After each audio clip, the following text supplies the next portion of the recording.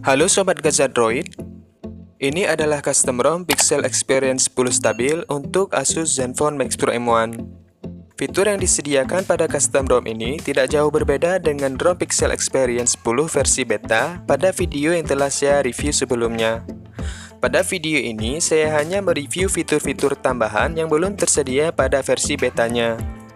Jadi bagi sobat yang belum menonton video versi betanya, bisa klik logo i yang ada di pojok kanan atas. Pada updatean terbaru ini, sudah tersedia setelan ZenMotion yang fiturnya sama persis seperti setelan ZenMotion yang pernah kita gunakan pada stok ROM-nya Asus yaitu setelan screen of gesture yang telah berfungsi dengan baik pada custom ROM Pixel Experience 10 ini. Kemudian tersedia pula fitur ambient display yang sayangnya memang belum berfungsi secara sempurna. Lalu untuk penyimpanan sistemnya, ROM ini menggunakan memori internal sebesar 10 GB dan untuk setelan tampilannya sudah tersedia fitur setelan gaya dan wallpaper, di mana pada versi betanya fitur ini hanya bisa diakses melalui setelan opsi developer. Dengan fitur ini, sobat bisa mengkustomisasi bentuk font, tampilan icon status bar, mengubah warna aksen, dan mengubah bentuk ikon dari empat macam pilihan yang tersedia. Setelah selesai sobat mengkustomisasikannya, sobat tap terapkan.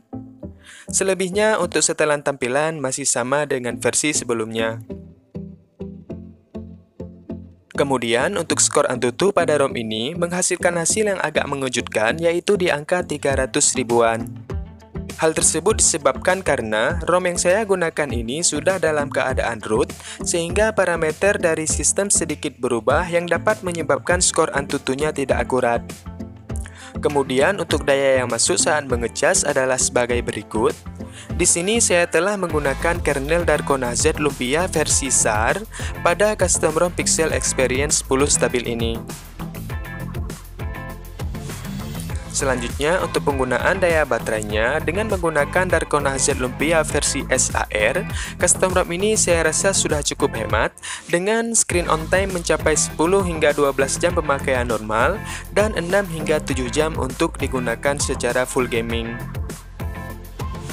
Kemudian, untuk masalah Google kameranya, sobat bisa menginstal aplikasi Google Kamera mana saja yang cocok untuk HP sobat, karena mungkin kinerja dari aplikasi Google kameranya agak sedikit berbeda, mengingat Asus Zenfone Max Pro M1 ini mempunyai tiga versi RAM yang berbeda.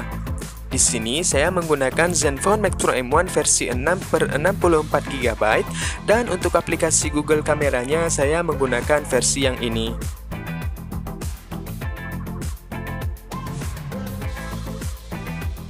Sekarang kita lanjut ke game PUBG. Untuk kualitas grafis yang didapat pada custom ROM Pixel Experience 10 ini masih dalam keadaan standar, yaitu berada pada grafis HD dengan frame rate high untuk setelan tertingginya.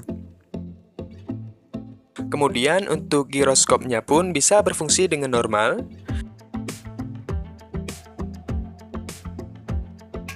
Selebihnya sobat bisa cek sebagai berikut.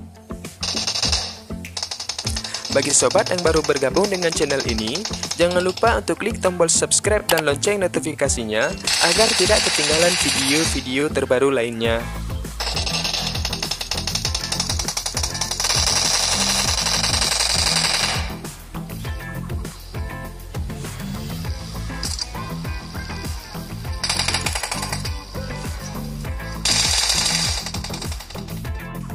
Adapun untuk salah satu kekurangan yang saya dapatkan pada custom ROM Pixel Experience 10 ini yaitu terletak pada kualitas suaranya yang menurut saya agak sedikit lebih kecil jika dibandingkan dengan custom ROM lainnya.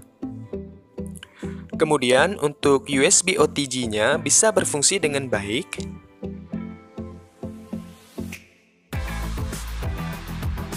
Jadi untuk cara pemasangannya, sobat bisa lihat caranya pada video review Pixel Experience 10 Beta yang linknya sudah saya tuliskan di kolom deskripsi.